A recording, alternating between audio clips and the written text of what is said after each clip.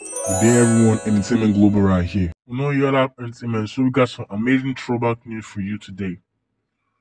Do you remember back in 2017 when our own famous American singer Rihanna visited Malawi in Africa for humanitarian works?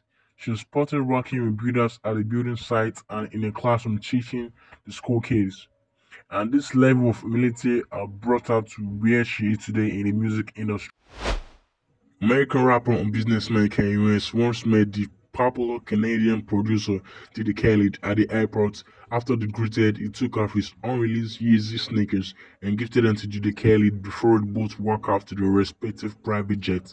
Ye is a different brand. We miss him so much. Don't forget to follow me on Twitter through the link in the description. Support this channel by leaving a like and a comment. Always remember to subscribe and share our videos on our social media platform. Thank you. We love you all. Bye.